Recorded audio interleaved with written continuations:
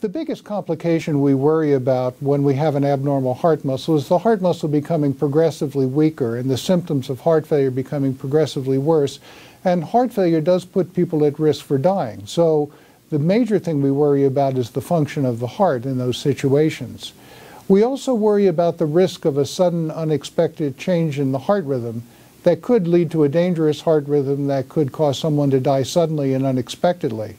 So we're quite concerned about those, and in fact, those are the two most common complications that we have that lead to people dying who have heart failure. However, there are a number of other complications that can occur. When a heart becomes weakened, it typically enlarges as well. An enlarged heart that where blood isn't moving very fast leaves some areas of blood that are sitting still for periods of time. One of the things that we become concerned about is that when blood sits still, a clot can form. And when that clot's in the circulation, a blood clot can go anywhere, and if it goes to the brain, it can cause a stroke. And we're quite worried about that.